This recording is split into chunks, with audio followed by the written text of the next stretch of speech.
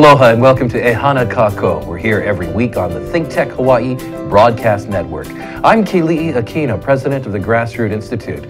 Well, if you're in government and you're involved in any way in, in impacting the environment, you may want to watch very carefully today, especially if you're in the Department of Health or the Agriculture Development Corporation or the Department of Land and Natural Resources or the Hawaiian Homelands. I could go on.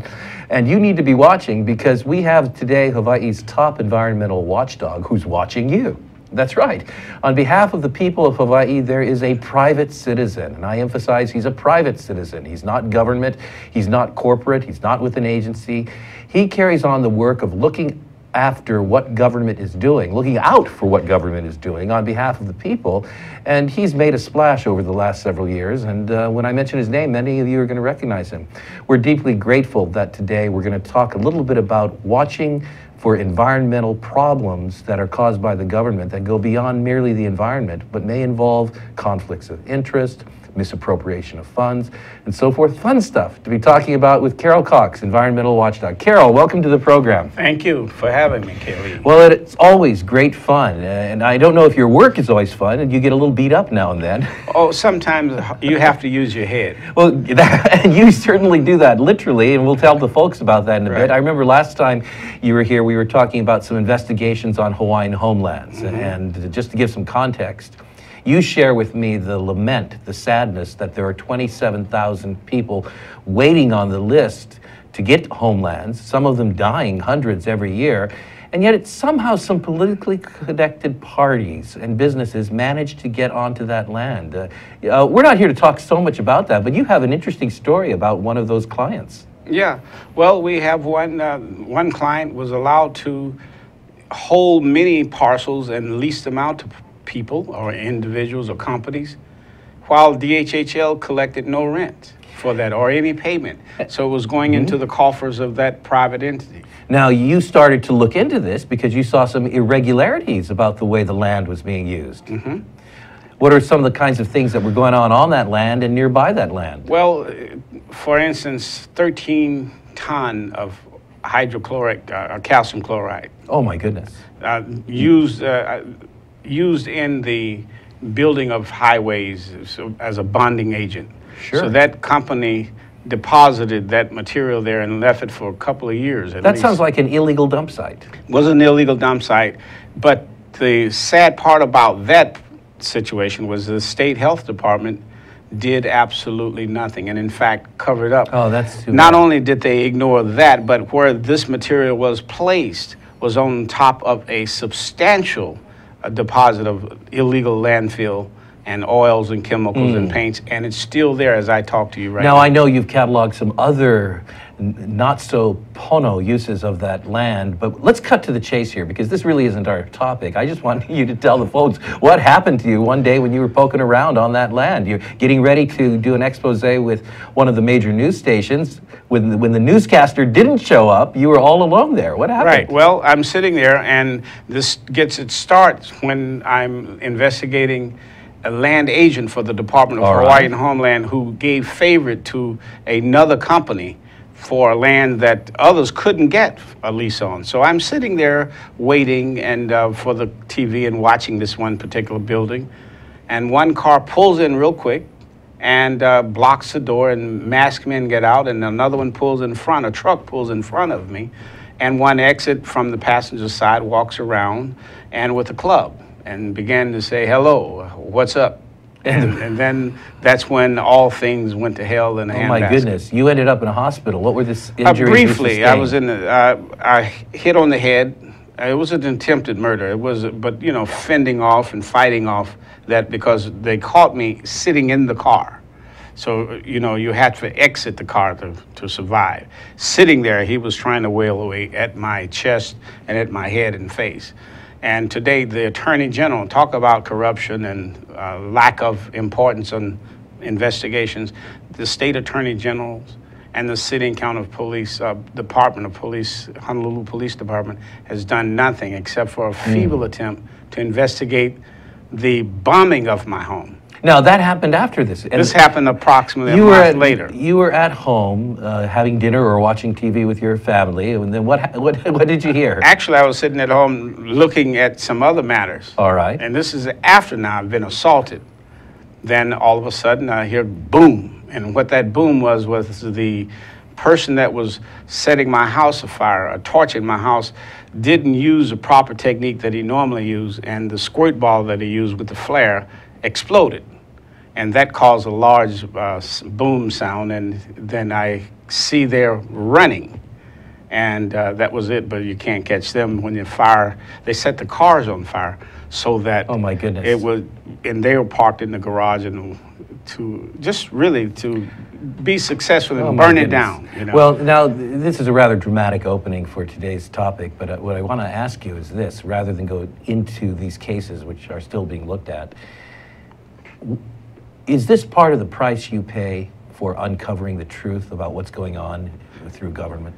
actually it's a reflection of what r- the people pay because hmm. in essence they lose more than i do. I'm one individual. This process that is weakened by corruption favoritism and buddyism that's going to impact everyone to include the environment. So i don't see it as much as how i'm impacted it becomes difficult in understanding why there's no outrage when you see this kind of criminal behavior and assault. They didn't say that I was stealing their cow or their horse or stealing their bicycle. I was there investigating for an interest to reflect so the public could understand hmm. the abuses within government. Well, the, the stakes are pretty high for the perpetrators of abuse. And so let's r- jump right into some of our topics today. You've been looking at the Department of Land and Natural Resources and- and the way uh, some resources are, are being misallocated. What's going on? Well, there's one particular story, or we'll call it a story, but it's reality. And that is the drug enforcement unit that eradicate drugs. They lease a helicopter to get up in the higher levels of it in the, in the mountains and different islands to remove or extract and destroy marijuana. Well, so far, so good. So far, so good. Well, there's one instance where the individual supervisors heading that department eh, on Maui, this took place in the Keanae Valley. What happens is that the supervisor's daughter was getting married in a couple of weeks, so they took uh, and deployed a helicopter to eradicate marijuana, but instead brought family members and fellow officers to go up at high ele- ele- elevations and take from the streams hihi, vai, opae, and other aquatic species Well, now, wait a minute. for the wedding. Th- this wedding gift, which and there's nothing wrong with wedding gifts. Weddings are wonderful, and it's wonderful to get fresh uh, uh, food for the the table and so forth. But you're saying these were at the cost, the expense of the taxpayer. That taxpayer-funded equipment, taxpayer-funded time of personnel, and so forth, and access given only for government purposes was used for a private purpose. Right, for a private purpose.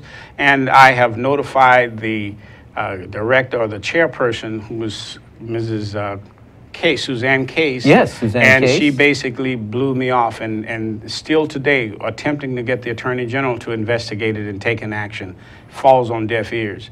And they even went further to get rid of a new hire person that was uh, capable and had can demonstrate that he will put things together at that office and they fired him after six months of him being hired and being given the best appraisal you could one could receive Now, what do you do when uh, the, the official department doesn't follow up or disputes what you have to say? What if on the other side, Ms. Case and the DLNR are watching today and saying, Carroll Cox, you're not telling the truth about us. Carroll Cox, uh, this isn't what's going on. You're, you're maligning us. Well, I would say that there's several solutions to that. Let's have a conversation openly on television. We can come back to Think Tech and we can lay it on the table. And truth is nothing that escapes me. Uh, the truth is uh, the taxpayer is losing. The truth is we entrust these officers to eradicate marijuana. So if they're willing to abuse their authority and abuse equipment and money and time for that, you might want to scratch your head and say, well, are we really learning exactly how much weed they're eradicating? Can we trust them? Is some of this weed being put back on the streets? it's up for questions. Now, how long have you been doing this kind of watchdogging of the government? About uh, since 1995, 96 here in Hawaii. And what kind of reaction or response have you gotten in general from government agencies? I'm the stepchild. I, I, I might be received, it, it, it's a very uh, insulting position to be in, but you must be committed to doing what's right. And that is, remember, they have the obligation and the mandate to do these things, protect the environment, protect the wildlife, and do all of those things. They have that mandate, they have that responsibility. They fail. I come along as a watchdog and gather the facts and go back, and now I got to submit it to them. Now, you don't just sit around and think up uh, uh, out of the blue where you'd like to go uh, snooping around and so forth. Often people contact you, or and, and you get firsthand information from observers and, and informants and others. How does that work? Well, the bulk of my uh, information and the things that I work on stems from conversations or calls from honest government workers. And I must add, 99% of the state workers, government workers, federal workers are honest people. It is that top level that has become corrupt and have a special agenda or carrying out agendas for others. So you're talking about people who are in the system. In the system. Who see what their bosses are doing. Yes. And also, for some reason, in many cases, may not want to use the official whistleblower routes. The official whistleblowing route is a death trap. Really? A, a complete death trap. You're told to blow the whistle and you're protected. But protected from what? Because most of the, the threats that you will receive can be further down the road. And, and uh, further down the road. Oh, so years later you might yes. not get a promotion. Years later yes. you might get transferred. Years later, a, a simple mistake you make in, in, in, your work can result in firing. And firing, so forth. yes. But yes. the system waits. The system so waits. that you can't draw a direct correlation or retaliation right. taking place. And and you will find yourself struggling as if you've been dumped in a bowl of jello. You, there's well, nothing to catch hold of. You say that a good number of government workers actually appeal to you, and that the majority of the information that informants you have are people who work in the system. Well, what is the culture they live under? I mean, if they're they're they're afraid of retaliation, they have to go outside the system to get somebody to look into things. I would say some say this is the aloha state. I would say better described as the nervous state. Really? Yes. The, the average worker in government is nervous from retaliation, from threats, and some of them even fear their life. Well, we're going to pause on that note. Uh, not a happy note, but a realistic note as to what's taking place here in government culture. I'm Keli'i Akina interviewing Carroll Cox, our environmental watchdog who looks out for the people and our interests. You're watching Think Tech Hawaii's E Hana Kako. We'll be right back after this short break. Hi, I'm Stacy Hayashi with the Think Tech Hawaii show Stacy to the Rescue, highlighting some of Hawaii's issues. You can catch it at Think Tech Hawaii on Mondays at 11 a.m. Aloha. See you then. Hi, my name is Aaron Wills. You are watching ThinkTechHawaii.com. I am the host of the show Rehabilitation Coming Soon. You can catch us live on thinktechhawaii.com at 11 a.m. on Tuesdays. I will see you there. Aloha everyone, I hope you've been watching Think Tech Hawaii, but I'm here to invite you to watch me on Viva Hawaii every Monday at 3 p.m. I'm waiting for you. Mahalo. Aloha, my name is John Waihe'e, and I actually had a small part to do with what's happening today. Served actually in public office.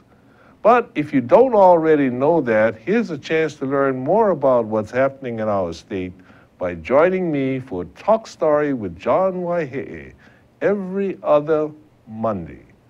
Thank you, and I look forward to your seeing us in the future. Welcome back to E Hana Kako, here every week on the Think Tech Hawaii Broadcast Network. I, am just delighted today to be talking with Carroll Cox, environmental watchdog. But before we get back to him, Carroll is able to do his work because of the good people in government who are working together for the greater good. Uh, at the Grassroot Institute, we say E Hana Kako. E Hana Kako means let's work together. And if we don't work together, we'll never solve some of the, basic problems of Hawaii. So, what I want to say is for those of you from the various government agencies and departments who are watching today, and I know some of you are, thank you. Thank you for being willing to speak up when necessary. Thank you for being able to bring watchdogs into the business of watching the government. That's important because it's a fundamental responsibility of citizenship. And with that said, I want to get back to Carroll because our time is running very quickly. Carroll, you've also been looking into the Department of Health, and we have a program called Voluntary Response Program. Tell us what that program is and what's the problem with it? Let's be specific. The Voluntary Response Program is a volunteer response program, and that is if you have a tank and it has arsenic or hydraulics or whatever, and it leaks into the ground, and you engage with the state of Hawaii, you can leave that in the ground and put a pavement over it and walk away and as long as you come back and make sure the patching of it is done. So at 925 Dillingham, the old Sprint call center, uh, there's Right. a situation there with petroleum or diesel product in it leaked from tanks. And then in turn, this couple of years, years back, when that was an industrial area, that material is under the ground about nine feet. The only thing is required is that they put a parking lot there and put asphalt over it and with dirt. And then you have the building there. The- Now it is called the Kapalama Satellite City Hall. So the city and county of Honolulu actually leases this facility with these contaminants underneath instead of making the responsible party to clean it up. So we go from generation to generation, from owner to owner, with a known problem that never gets dealt with. Right. And, we've got all of these laws coming out, like the Clean Water Act, for, which uh, uh, covers some of the pollution of gr- the ground by water that runs off into the ocean and, and, and so forth. And you're saying that our government is basically ignoring this through this practice of voluntary, uh, voluntary, what did we call it? Response. response. One must understand, we, we, we are confident in our thoughts when, we, oh, we have the Clean Water Act, we have the Clean Air Act, we have the wastewater That's what the public thinks. The w- public thinks that, but what the problem here in Hawaii is, it's ha- isn't worth anything or the ink that it's written in if you don't have integrity in the enforcement, consistency in the enforcement, and favoritism is out overruled by doing what's right by the people. Now, you're suggesting then that in, in this case, where the city and county is building something on top of polluted land, It's already there. The Okay. building is there, you see. th- that th- there's something scandalous about this beyond the fact that we've got this deficient law involved. What's going on here? Well, there's a practice, this voluntary response is a practice of a shell game. You see, if you and I engage in selling that land to one another, mm-hmm. I would have to make full disclosure, and you would be wanting to be right. compensated for the removal of that contaminant. But government in this state covers up and plays a shell game and moves and hide contaminants by allowing government agencies to go in and rent property or lease property or acquire properties while they are the enforcers. So if they are the enforcers, they can enforce or not enforce if they So wish. there's a conflict of interest, that standard conflict of interest where the parties that are involved in administering or in promoting are also the ones who are supposed to be keeping watch. So they keep watch when it's convenient, but they don't keep watch when it's beneficial to their personal interest. conflict of interest is, is a cute way of putting it, but I have come to learn that it's fraudulent practices that are detrimental to the environment because it's still there. And so when the tidal influence and the groundwater is contaminated, that's the real threat. See, nature right. does not stop, and these processes does not stop because of the politics being introduced. These things are still active and somehow in finding their way into the environment, and that is the primary concern, not the politics of it, but the politics enables people to play the shell game. Now, I thought that here in the state of Hawaii, we have a great body of law, statutory law, that, that prevents this type of thing from happening. And in addition to that, we have some values that have been put into the law about Malama the Aina. So, how does this continue to take place? Well, you know, it's like looking at baseball.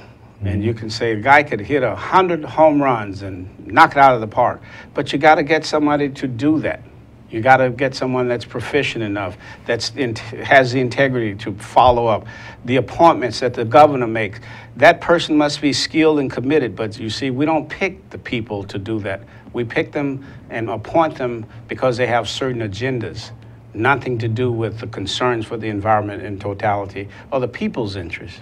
Well, you're also looking into something at the Agriculture Development Corporation, a certain 400 acres. Yes, ADC, uh, Agriculture Development Corporation, acquired some 400 acres plus, and much of this land was owned by Gil- Gilman Estate or uh, Dole. So we're going to see some healthy crops growing and benefiting the people. Well, in one instance, there is one company that has had possession of the land for three years and to date has yet to grow a single plant. Okay. No water. No water has been installed.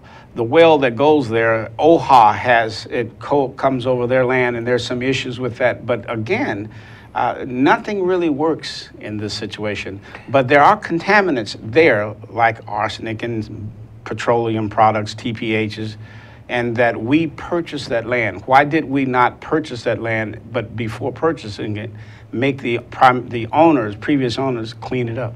Or why didn't we just perform due diligence i- in the inspection of that land and the proper valuation of it? Well, one thing about Hawaii, uh, they will tell the truth, but again, it's all in writing, but no one really enforces it.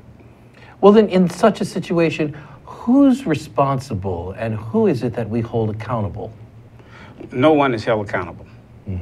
Um, it's it's a parade or a charade of acts. You you go in, they'll tell you the law. One thing uh, to pay attention to is that any of these reports, well, the, you know, it could be twenty five thousand dollars a day for the violation, but the state never returns to that site. Maybe one time after the TV cameras go away, and then the rest of the year, the rest of the five years, nothing happens until myself comes back and say, well, I just heard that they weren't cleaning it up or didn't clean it up. So the state goes back and give you the same old song again. Now, we have a flagrant lack of enforcement of the environmental laws that you're pointing out. Mm-hmm. Do we ha- also have selective enforcement if Very somebody so. isn't really in the political inner circle, that uh, they're victims of actual enforcement? Yes, and you'll see a number of people donate substantially and heavily to the mayors and the governors, and you just saw it, there's a little slight correlation that suggests that, well, we can't say emphatically that this was a payoff to turn the heads, but it happens. In many ways, a pay to play kind of game if you're going to actually be acquiring land and carrying out uh, your purposes without being hindered by the government. Is that If what you, you're suggesting? if you have contaminants in the soil, just work with the health department, and you're likely to come up with a deal that you can't resist. Now, you come across occasional instances of this. You whistleblow, you show some of the things, you're a watchdog and so forth. People come to you. How pervasive is this in our political and commercial culture here in Hawaii? How widespread? Are these just exceptional cases that make uh, headlines, or, or, or do we have a certain kind of culture at place? Well, it's pervasive, it's substantial. And, and there's not one scenario you can touch or look at or interact with that you won't find it. It'll have the stench of corruption, favoritism, and all of this is present in anything and everything we see as it relates to the environment and other issues, whether it's state housing or state homelessness. We'll move them from certain areas, but after they're out of the way, we'll let Waianae grow and blossom up with homeless people by the thousand.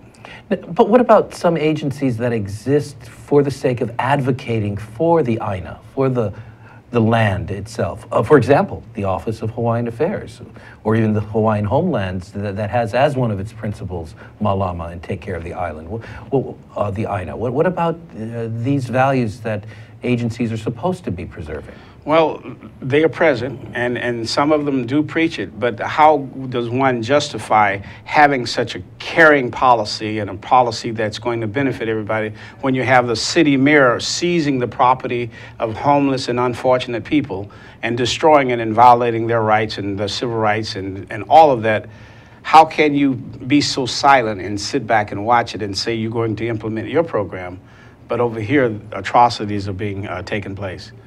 Is So- there, is there another story you want to tell us before we close today? Uh, Another agency, another uh, investigation that, that you- you're well, involved in? Let's stick with the Department of Land and Natural right. Resources.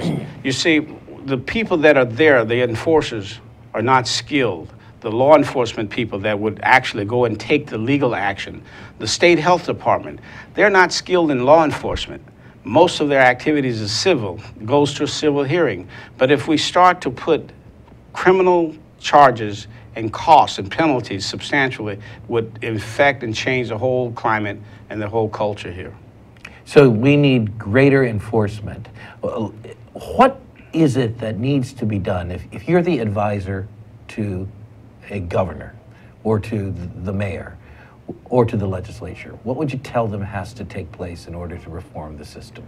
I would say they all need a refresher course in integrity and ethics.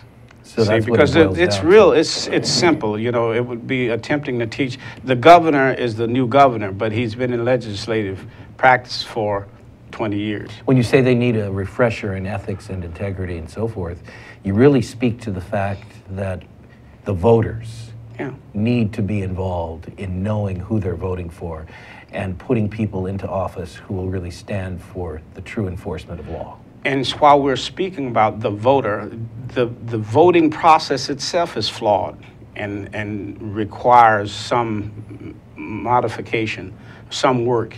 Because we've seen too many times so many flaws that present themselves on voting day.